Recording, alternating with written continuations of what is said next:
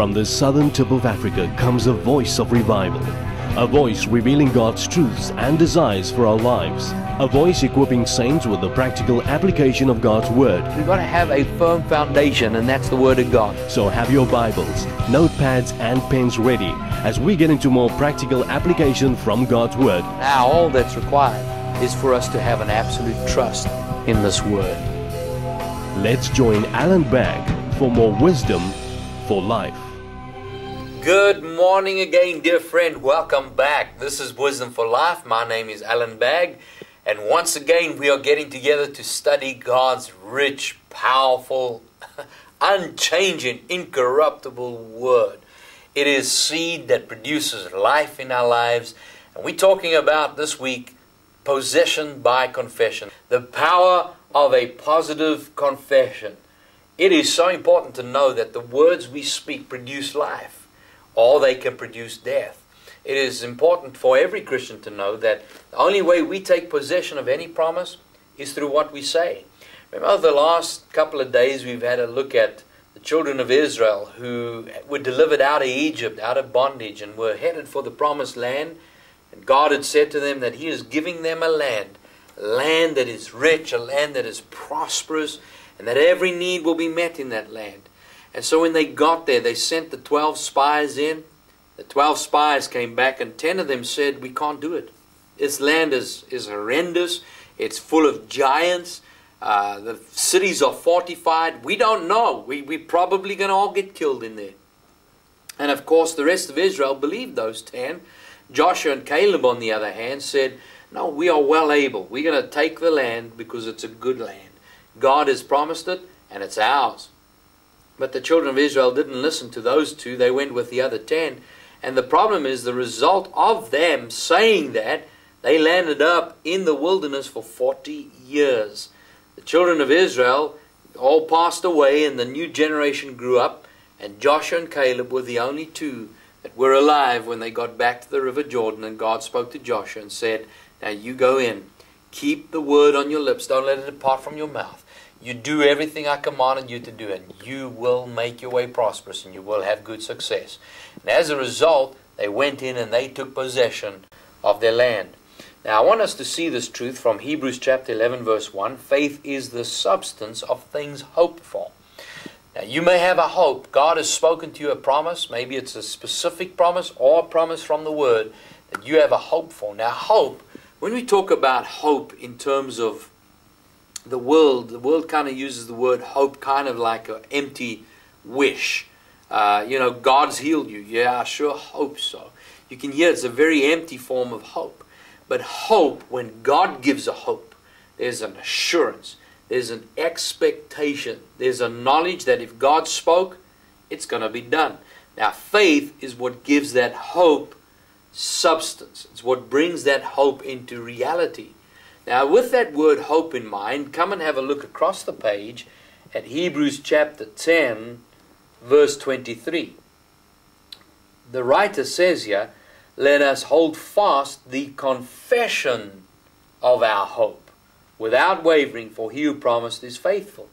Now, it's interesting that he should say, The way you hang on to hope is by speaking it. Let us hold fast to the confession of our hope. And the only way that we possess anything in the body of Christ is through confession. Let's go back to Mark chapter 11. We had a look at this earlier on, but now I want you to see how this fits into with what we're saying right now. Mark chapter 11, verse 23. Now, often I've heard uh, people talk about faith and they say things like, oh, I, I don't agree with that faith movement. I don't agree with faith and uh, or, or, that faith movement. Faith is not a movement. Remember Hebrews 11 verse 6, without faith it is impossible to please God. So when it comes to faith, it's not whether I believe in the movement or not, whether I think it's a, a form of religion. No, I want to go with what Jesus said. And what Jesus said is in verse 22, Jesus said to them, have faith in God. So he's about to demonstrate faith. It says in verse 23, For assuredly I say to you. Now, I'd like you, your, your Bible, if you have a Bible that has red and black, can you see this is red? This is what Jesus said. I want you to, in verse 22, underline Jesus answered. So this is Jesus' opinion. He's about to speak here. This is what Jesus says. Verse 23. For assuredly I say to you, whoever says to the mountain, underline the word says, be removed and be constancy and does not doubt in his heart, but believes those things he says, underline the word says again, he will be done. He will have whatever he says. Underline the word says. Now take the word believe and put a little circle around it. Now, let me ask you, how many circles do you see? There's one. How many underlines do you see? There's three there. Jesus said that if you say with your mouth and you don't doubt in your heart, but you believe, whatever you believe, you say. Look again. He says to the mountain, Be removed be cast and does not doubt in his heart, but believes.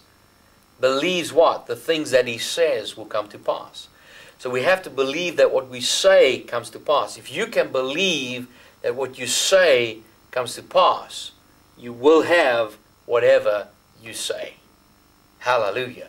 So, first thing that I have to do is renew my mind to believe that when I speak, those things I say happen. And when I do that, then I fill my heart with the Word of God and start declaring with my mouth those things. And those are the things that are going to come to pass. See, if someone says, Oh, I don't really believe in that, well, someone can say, I don't believe in gravity. And if they jump off a 30 story building hanging on all the way down, say, I don't believe in gravity, gravity is there.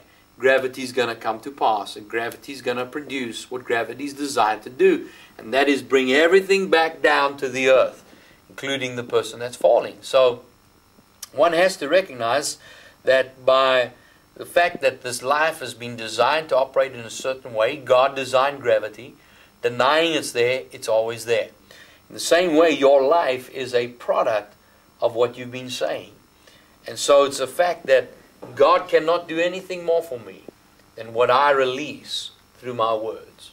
And that is an outstanding statement. God cannot do anything more for you than what you release through words. Look what it says in Proverbs chapter 18. Proverbs chapter 18. You have a look over here at verse 21. He says, Death and life are in the power of the tongue. Now, you know, for a long time I thought death and life were in the power of God. Because that's what traditional religion will tell us. But yeah, the Bible's clear. Death and life are in the power of the tongue. Someone says, yeah, but I don't really agree with that. Well, keep reading. And those who love it will eat the fruit of it. So in other words, if I can come to a place where I believe and I love the fact that when I speak, it produces life or death. If I can understand that, then I'll begin to eat the fruit of it. In other words, when I determine that I'm no longer going to speak death over my life, if death is in the power of my tongue, then I'm not going to speak death over my life. And if life is in the power of my tongue, then I'm going to speak life. You remember at the end of the program, I always say, life is a choice. Choose life. Now, the reason I say choose life is because a lot of people think life just happens. It's not, it's a choice. In fact, God said to the children of Israel, I lay before you life and death, therefore choose life. The blessing has to be chosen. How do I choose it? Through my speech. Death and life are in the power of the tongue. So, if I want to see life, I choose life by speaking life. Now, that word that I speak is, of course, the Word of God. Now, with that in mind, let's go back to Mark chapter 4. We are talking about the power of confession. Now, Jesus said, remember, he said in verse 14, the sower sows the word. In other words, the word of God is seed. 1 Peter 1.23 tells us that the Word of God is incorruptible seed. Incorruptible seed. Now, what's incorruptible seed? Well, in my hand here, I have a an avocado seed. Now we can see that this avocado seed has already experienced corruption. The, the, the, the outside has peeled off and it's begun to shrivel up. But you know what? When this seed was in its prime, when you plant a seed, that seed will always produce a harvest. Now, a seed produces a tree after its own kind. This is an avocado seed. So if I plant this avocado seed, it will produce an avocado tree. Now I can count the seeds here. I can see there's one seed. But you realize that through this seed, I can produce an avocado tree that'll produce a whole bunch of other avocados. Then if you take each of those avocados and you plant those again, though all the seeds that are inside those avocados, they in turn produce more trees. And then all of those trees will produce even more avocados. Now let's say for a moment that all the avocados in the world disappeared. And I have the last seed in my hand. Well, I have enough in my hand here to produce enough avocado pears to feed the entire world.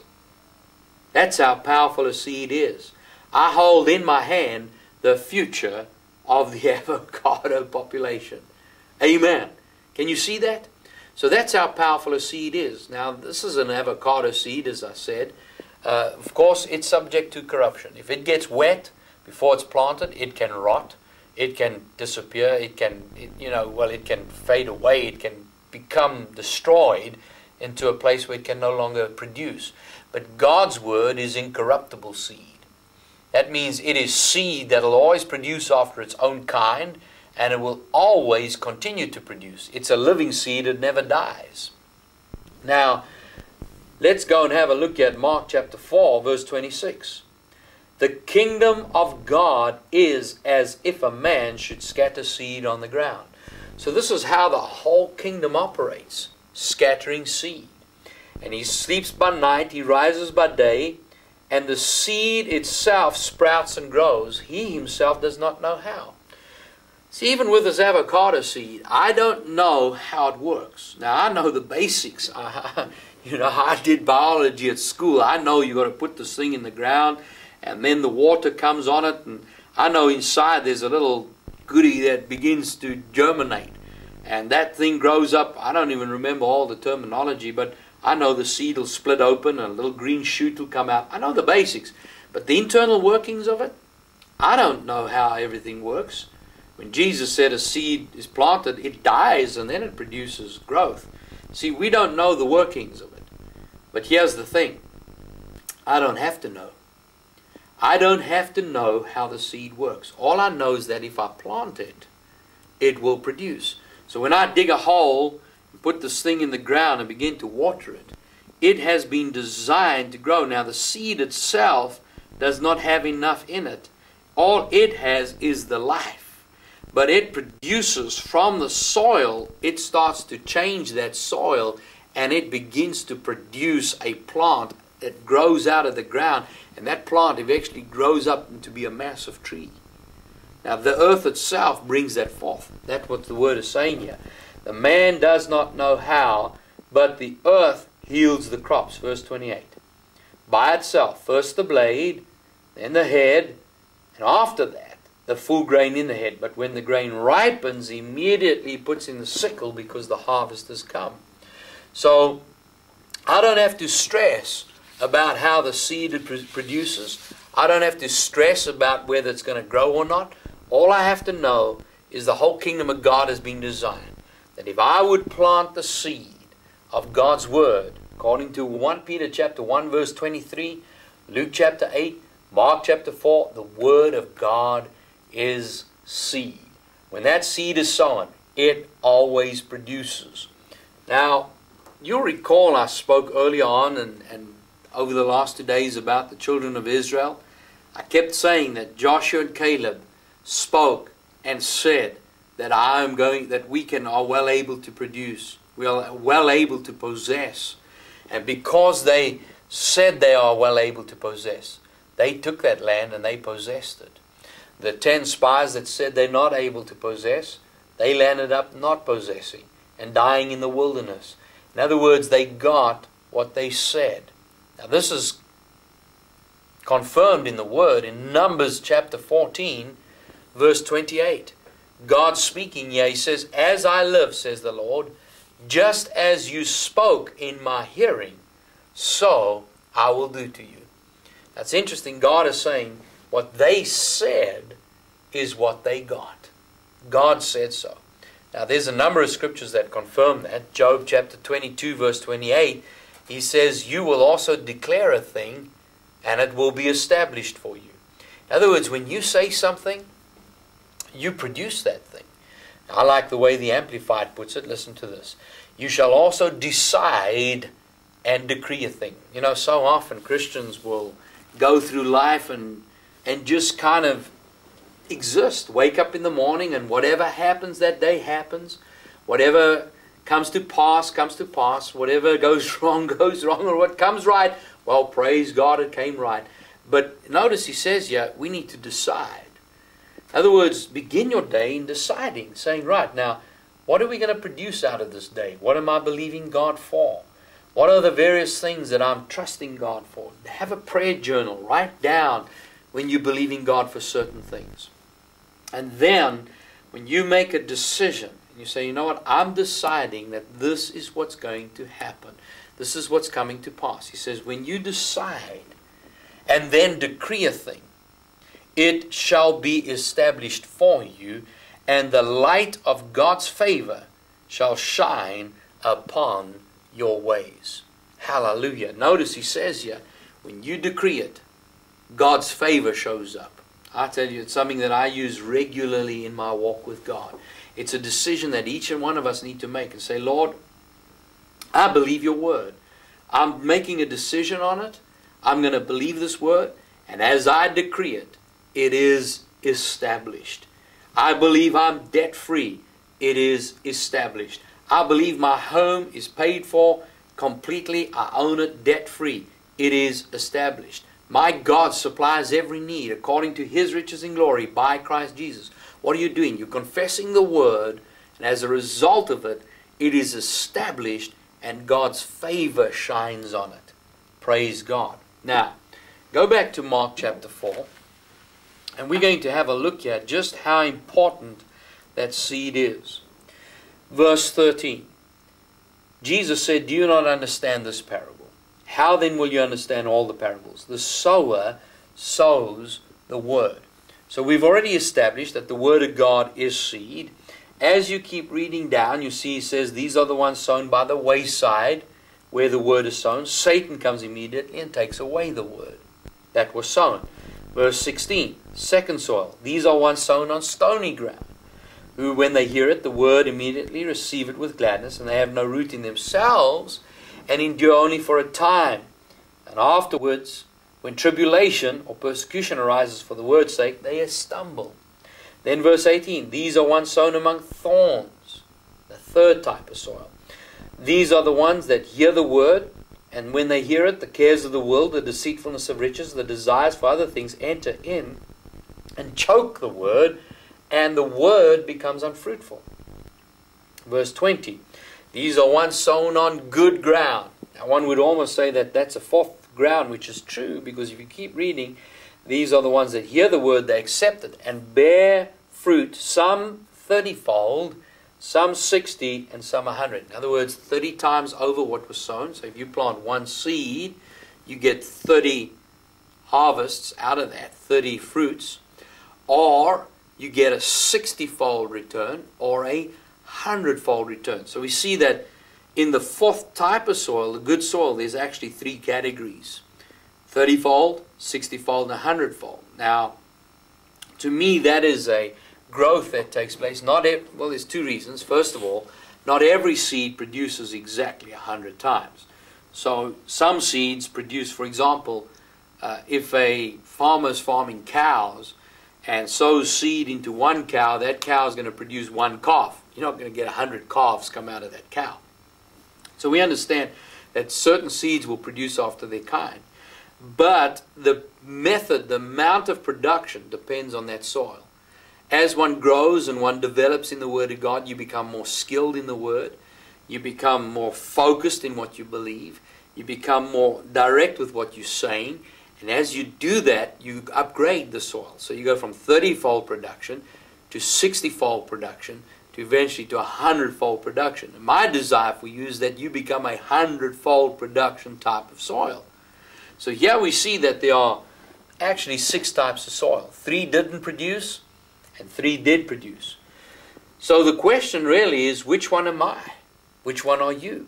The only way to do that is to go through it step by step and have a look at each particular soil and how they all work. And when we discover how they work, then we can decide which one we are and then make the adjustments because even if you find that you have wayside soil, when you first plow that wayside soil, it becomes hard soil, uh, becomes rocky soil. When those rocks are all taken out, then the first thing you may end up with is thorns and, and weeds.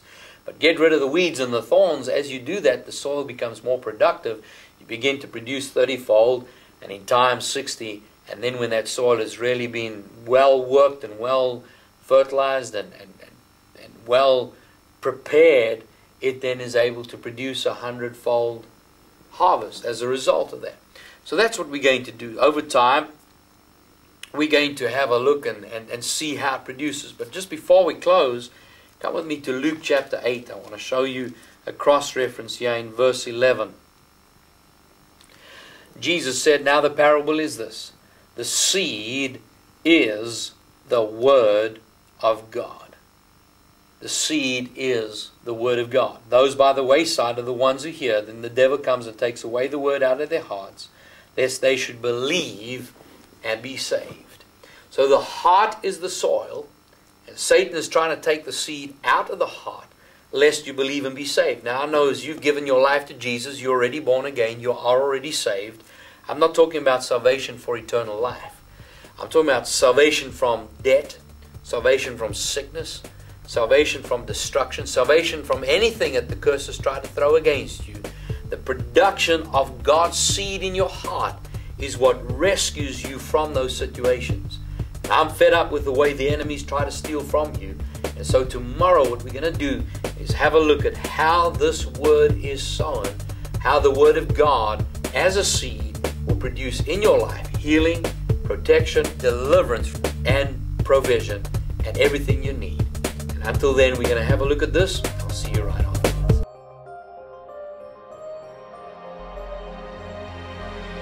People that understand the kingdom of God, understand the purposes of God, understand the kingdom of God, God has prepared this year. You've been listening. God has positioned you, He's equipped you, He's prepared you, He's enabled you, He's empowered you, and it's for a purpose.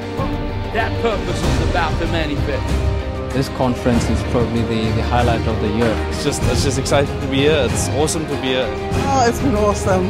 I've been having a good time. The word, the word works for me. You can feel the Holy Spirit from the moment you come in. Very, very excited, very blessed, very anointed. The possibilities are going to show up. The opportunities are going to show up. But only those that are equipped and positioned will be able to access them, will be able to penetrate them, will be able to tap into them. What the Lord is saying is prepare. prepare. When I go out here, I will, I will, I will be able to share some of this, what I've experienced here, take it back to my hometown. It's a whole life change. The anointing and the grace is opening up for you unlimited possibilities. God exalts his very own word higher than his name. God's Word, a creative force that God Himself exalts above His own name. So God understands the value of his word. There is so much power available in His Word. In my hand, I hold everything I have ever needed in life and godliness. It's that power that God has made available to you. If I have the seed, I have the harvest. It's just a matter of time. This series will help you receive the healing you need. It will help you bring financial freedom into your life and will help you produce everything that God said you could have.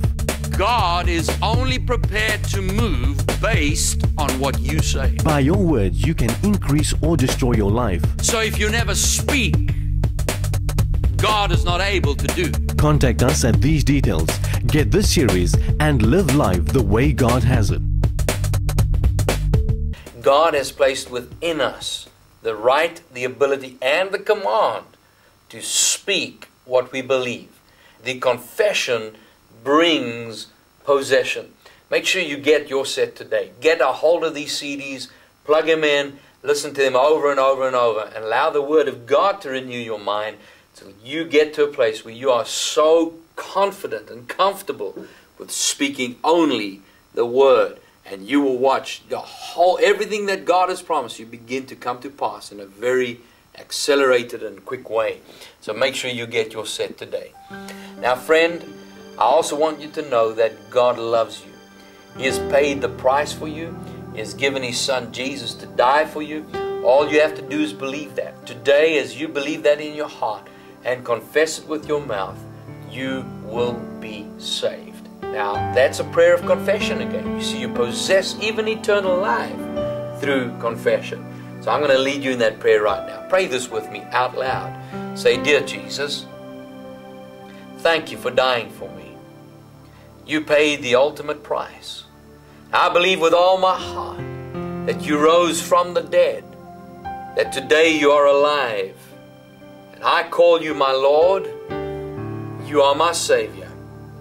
And I know as I do this, I am now born again, a child of God. Thank you, Jesus. Amen. Amen. Praise God, my friend. If that's the first time you ever prayed that prayer, I've got a gift for you. This is a Bible study that'll take you through your Bible in a year. Also, this little card explains to you what just happened in your life and what's going to happen now that you are a Christian. And then this wonderful CD or tape, you can request whichever one you want.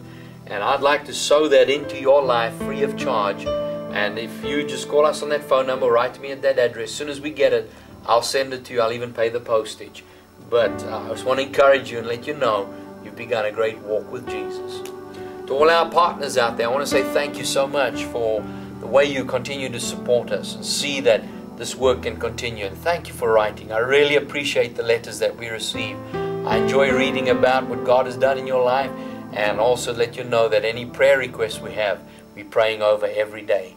Well, tomorrow we're going to carry on with this wonderful study. Until then, this is Pastor Allan Bagg reminding you Jesus is Lord. And remember, life is a choice.